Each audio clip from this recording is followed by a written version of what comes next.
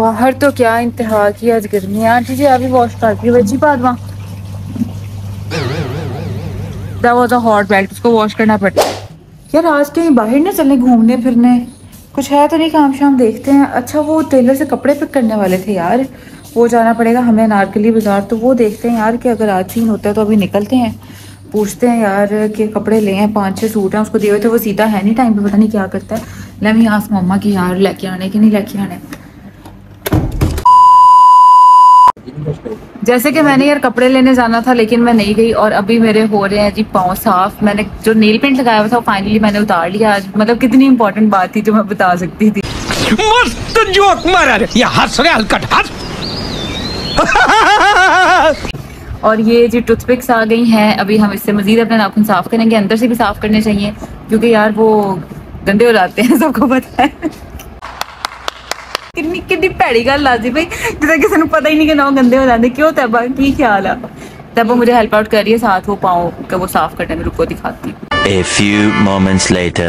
ये इतने गंदे लालो लाल हो गए थे ना मेरे पाँव अभी ठीक हो हाँ जी हेलो ये मेरे चाचू है लाइक करो यार चाचू आप इकट्ठे व्लॉग बनाया करिए नहीं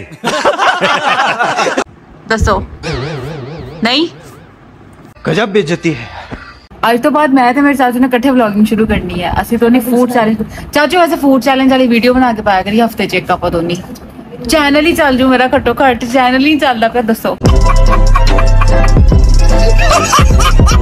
ਆ ਹਫਤੇ ਚ ਇੱਕ ਵਾਰੀ ਆ ਜਾਇਆ ਕਰੋ ਆਪਾਂ ਵੀਡੀਓ ਸ਼ੂਟ ਕਰਿਆ ਕਰੀਏ ਇਕੱਠੇ ਬਹਿ ਕੇ ਐਨ ਸ਼ੁਗਲ ਮੇਲਾ ਲਾਇਆ ਕਰਾਂਗੇ ਠੀਕ ਆ ਕੀ ਪਤਾ ਮੈਨੂੰ ਵੇਖ ਕੇ ਤਾਂ ਸਬਸਕ੍ਰਾਈਬਰਸ ਆਉਂਦੇ ਨਹੀਂ ਤੁਹਾਨੂੰ ਵੇਖ ਕੇ ਆਏ ਕੀ ਪਤਾ ਕਿਹਦੀ ਗੱਲ ਮਮਾ ਚੰਗੀ ਲੱਗ ਜਾਵੇ ਕੀ ਪਤਾ ਹੁੰਦਾ ਇਸ ਗੱਲ ਦਾ? ਅੱਜ ਸਾਰਾ ਦਿਨ ਮੈਂ ਵਿਹਲੇ ਬੈ ਕੇ ਗੁਜ਼ਾਰਿਆ ਤੁਹਾਨੂੰ ਪਤਾ ਕੋਈ ਕੰਮ ਨਹੀਂ ਕੀਤਾ ਕੁਝ ਨਹੀਂ ਕੀਤਾ ਅੱਜ। ਫਾਹਦ ਦੇ ਨਾਲ ਕੀ? ਨਹੀਂ ਕੁਝ ਵੀ ਨਹੀਂ ਕੀਤਾ ਅੱਜ ਸਾਰਾ ਦਿਨ ਘਰ ਵਿਹਲੇ। ਓਏ ਲਿਪਸਟਿਕ ਤੋਂ ਬਗੈਰ ਕਿੱਡੇ ਜੀਬ ਲਾਦੇ ਹੋਣ। ਤੂੰ ਵੀ ਵੇਖ ਲਾ ਇਹਨੂੰ ਬਹੁਤ ਮਸਲਾ ਹੁੰਦਾ ਕੈਮਰੇ ਦੇ ਅੱਗੇ ਆਉਣ ਤੋਂ ਹਨਾ? ਤੇਰਾ ਮਸਲਾ ਹੁੰਦਾ? ਨਹੀਂ ਹੈ ਦੱਸ ਮੈਨੂੰ। ਤੈਨੂੰ ਵਿੱਚੋਂ ਕੱਟ ਦੇਵਾਂਗੇ ਤੈਨ- ਤੈਨੂੰ ਵਿੱਚੋਂ ਕੱਟ ਦਾਂਗੇ ਆਪਾਂ ਆਪਾਂ ਇਹਨੂੰ ਆਪਣੇ ਵਲੌਗ ਵਿੱਚੋਂ ਕੱਟ ਦੇਵਾਂਗੇ ਇਸ ਕੁੜੀ ਨੂੰ ਕਿ ਔਰਤ ਹੁਣ ਤੂੰ ਵਿਆਹੀ ਵਾਰੀ ਆ ਹੁਣ ਤੂੰ ਔਰਤ ਹੋ ਚੁੱਕੀ 2000 years later. ये मेरा दूसरा पाँव साफ हो रहा है ये विनेगर के साथ हम साफ कर रहे हैं बाद में लीमू लगाएंगे क्योंकि वो जो नेल पेंट है ना उसका कलर रह जाता है थोड़ा सा पीछे कर हाथ दिखा आ देखो थोड़ा थोड़ा ना जरा रेड रेड जहा कलर रह जाता है ना फिर इतना साफ कर रहे हैं अभी मेरे चाचू मेरे लिए ब्लॉगिंग कर रहे हैं, अभी हम अपने हाथ के नाखून साफ़ करेंगे। यार वो मैंने विनीगर फड़ाओ। नहीं विनीगर नहीं, वो दूसरा लेमन फड़ाओ। लीमू के साथ अच्छा ये मैंने टूथपिक ली, ठीक है। टिशू के अंदर डाला इसको, ठीक है। इसको हम यहाँ से कॉर्नर साइज़ का बना लेंगे, ठीक है। कॉर्नर बनाने के बाद इसको लीमू के अंदर डिप करेंगे ताकि ये हम यहाँ से इसका ये जो जूस है वो निकाल सके। मेरा तरीका देखो तो यार दसंदा उसके बाद हम अंदर से नाखून साफ़ करेंगे यहाँ से। नज़र आ रहे हैं ना तुम लोगों को? यहाँ से साफ़ करेंगे ताकि ये जो अंदर से डस्ट है ना, वो सारी निकल आई, ये देखो। आई आई थिंक तुम लोगों को नज़र आ रहा होगा। फोकस अंदा पे इतने? हाँ ये इसके अंदर से ऐसे साफ़ करने के लिए।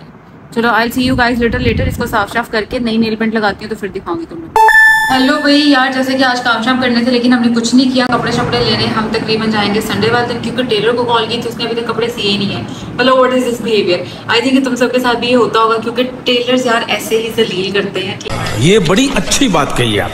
सॉरी मैं ये वर्ड यूज़ कर रही हूँ लेकिन आप लोग पता नहीं क्यों टाइम पे कपड़े सिल के नहीं देते। तकरीबन एक महीना हो गया मेरी बर्थडे से पहले मैंने दिए थे और अभी तक नहीं सिले। Bro this is not right ऐसे मत किया करो पैसे तुम लोग पूरे लेते हो काम करते नहीं हो। खैर, ये हम करेंगे संडे को आज, यार कुछ भी नहीं किया थोड़ा सा दिल कर रहा है कुछ खाना शाना बनाए, या कुछ अच्छा खाने को मेरा दिल कर रहा है, कुछ हेल्दी लेकिन यू नो तो हम क्या होता है हेल्दी सा बर्गर बनाए अगर बनाती हूँ उसकी तो मैं सेपरेट वीडियो तुम लोग देख लोगे। बाकी मेरे टिकटॉक पर जाके अगर तुम लोगों ने असमर डॉल वाली वीडियो में मेरे व्यूज़ वगैरह चेक नहीं किया ना तो अभी जाके कर लो यूट्यूब पे भी चैनल पे सारा ब्लॉग मौजूद है टिकटॉक पर भी मौजूद है। उसके ऊपर almost almost ninety seven thousand views हैं, क्योंकि मेरी स्किन यहाँ से ख़राब हो गई थी। देखें, मुझे उस प्रोडक्ट के अच्छे रिव्यूज़ नहीं लगे। मैंने सिर्फ़ वही दिए थे, मेरा आसमा के साथ कोई मसला नहीं है और ना मुझे बनाने का शौक है। अब मैं अगर कोई और भी प्रोडक्ट रिव्यू करूँगी तो मैं उसका ऑनेस्ट आंसर तुम लोगों को दूँगी। वो चाहे अच्छे ब्रांड का होगा, वो गंदे ब्रांड का होगा, वो एक्सपेंसिव होगा या वो लोकल होगा। अगर आप चाहते हैं मैं कोई प्रोडक्ट रिव्यू करूँ या किसी और चीज़ के बारे में आपको बताऊँ तो आप लोग मुझे कमेंट करके पूछ सकते हैं। आई सी यू गाइस